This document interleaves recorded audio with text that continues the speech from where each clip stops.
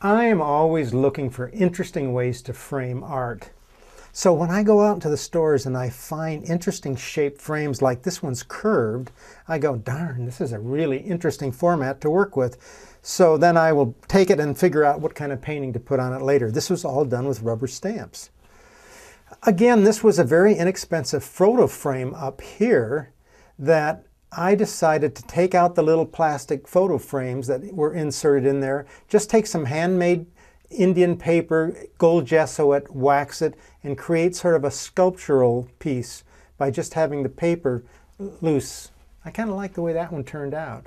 Here's a curved piece of glass with just a photo insert that it was a nice way to format a wax painting as well. And then I got thinking, you know, I could make my own frames. So I started to think about taking wooden palettes like this.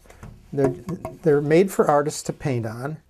And I decided to tape off a section and wax that with wax.